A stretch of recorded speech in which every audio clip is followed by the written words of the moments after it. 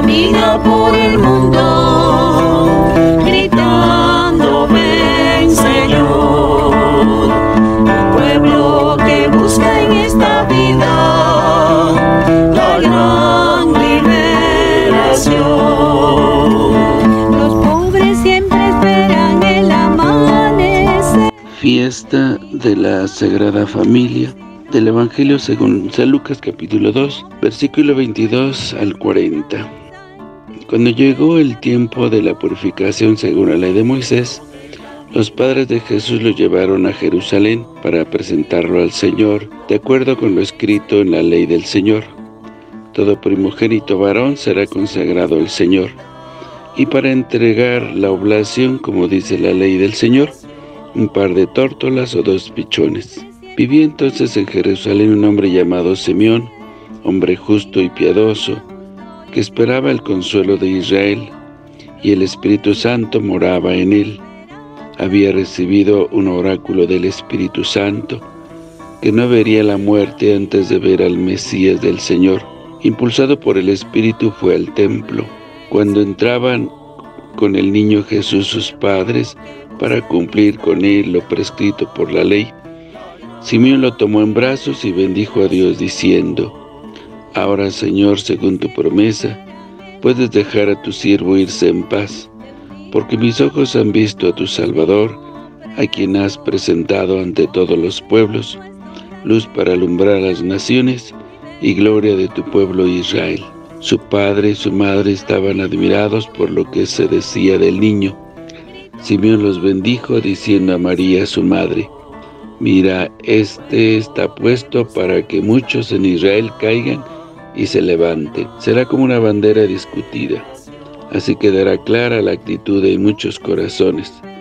Y a ti una espada te atravesará el alma. Había también una profetisa Ana, hija de Fanuel de la tribu de Aser. Era una mujer muy anciana.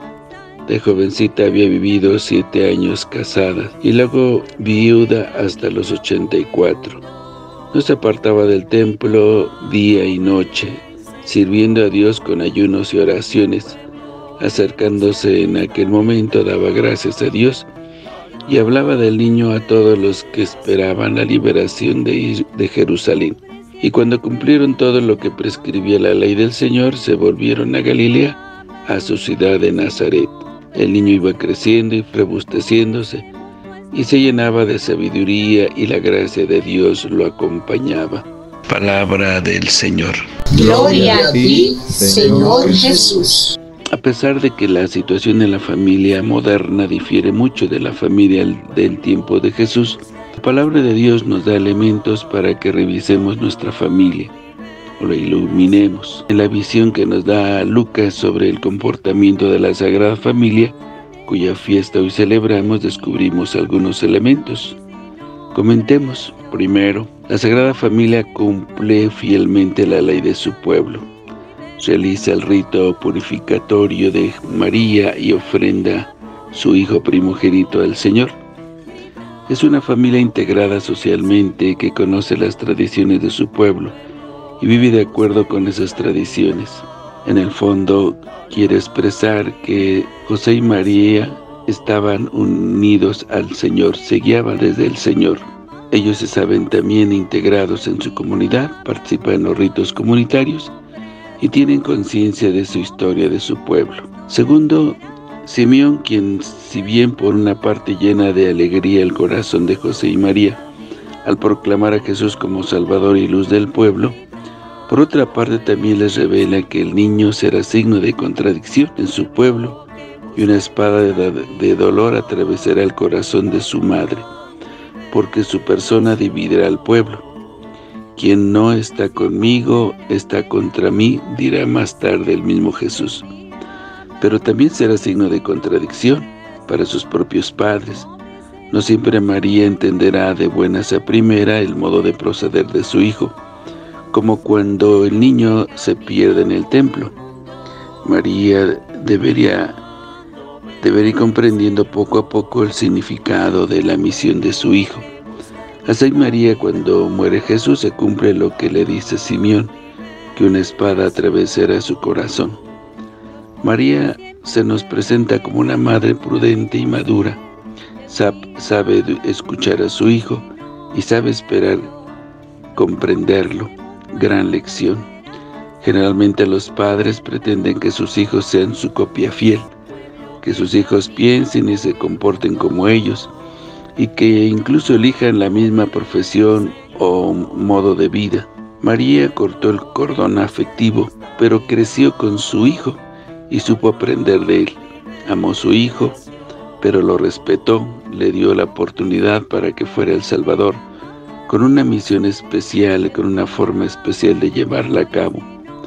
Hoy existen familias un serio problema de relación y de diálogo entre padres e hijos.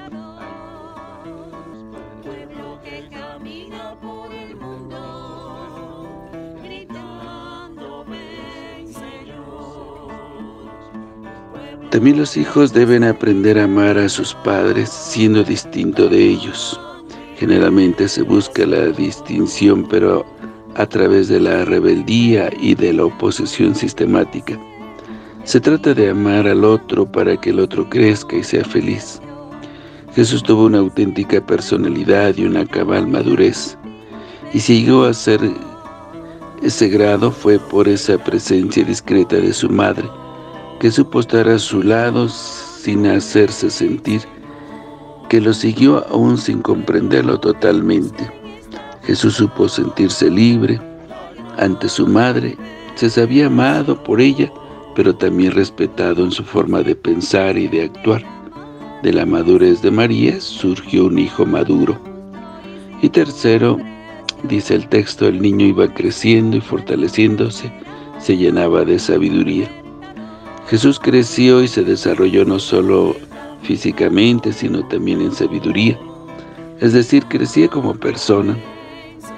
Su familia fue escuela de sabiduría, donde fue descubriendo la voluntad de Dios. Tuvo criterios rectos de acción, equilibró sus sentimientos y actos. Tuvo una meta y un objetivo y supo aplicar todas las energías en un proyecto digno de ser vivido. Esta es la gran tarea de los padres. Esta concepción deja muy atrás los conceptos que nos dice el eclesiástico de la primera lectura, que, usa un esquema de familiar patriarcal y de régimen severo y verticalista. Esto exige a los padres una actitud de madurez, de respeto y de libertad a los hijos. Sabemos que este ideal es difícil, sobre todo cuando el padre, por ser varón, se siente dueño de todo. La familia cristiana, llamada a la libertad y a la responsabilidad, hoy nos exige que revisemos a fondo nuestro sistema familiar, primera escuela en la que los hombres deben aprender el camino de la liberación y del compromiso responsable. Esa misma madurez debemos expresar en las relaciones de la comunidad cristiana.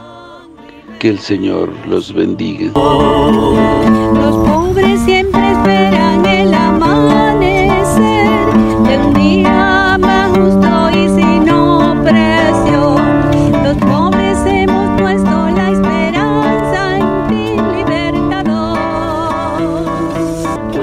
que camina por el mundo, gritando. La bendición de Dios Todopoderoso, Padre, Hijo y Espíritu Santo, descienda sobre ustedes, que los acompañe siempre. Que el Señor los bendiga. Si te gustó este video y deseas seguir recibiendo el Evangelio, misa en vivo, oraciones y muchas reflexiones más, ayúdanos a seguir creciendo. Suscríbete a este canal de YouTube, activa la campana de notificaciones, deja tu comentario, dale me gusta y compártelo con todos tus seres queridos. Que el Señor te bendiga a ti y a toda tu familia. Bendiciones.